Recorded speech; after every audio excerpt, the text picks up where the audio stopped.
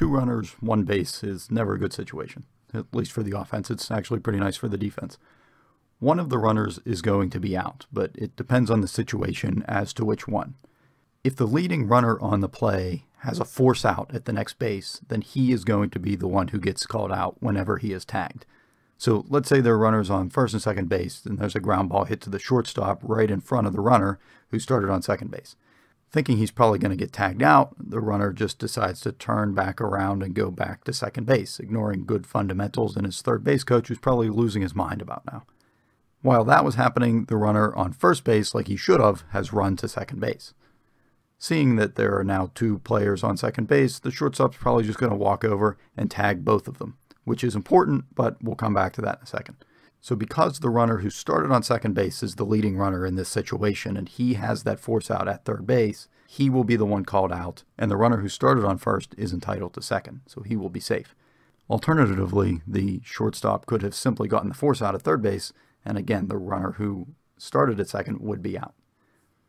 On the other hand, if there is no force out for that leading runner, then the trailing runner will be out. So let's say we have a second scenario, but the same situation. Again, runners on first and second. This time, though, the pitcher turns around to make a pickoff attempt at second base. There's some kind of rundown that's too complicated to animate in PowerPoint, and the runner gets back to second base. But amidst that chaos, the runner from first has run to second base, and now both runners end up again on the same base. Our shortstop again tags both runners, but this time the umpire should call out the trailing runner, that is the one who started on first base. Why is this different? In this situation, the lead runner is not forced to third because it was a pickoff attempt, so there is no force out, and because of that, he is entitled to second base until he moves to third.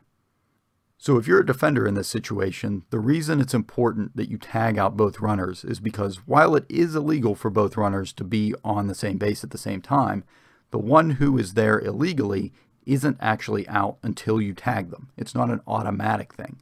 Because of this, just play it safe, tag them both, and let the umpire sort it out. You may even get lucky with a couple runners who don't know the rules. This may lead them to step off the base, at which point you can tag them out because they are off the base. On the other hand, if you end up in this situation and you're a runner, you're kind of out of luck because, again, one of you is going to be out. But for goodness sake, stay on the base until the umpire calls one of you out and make sure to call time before stepping off.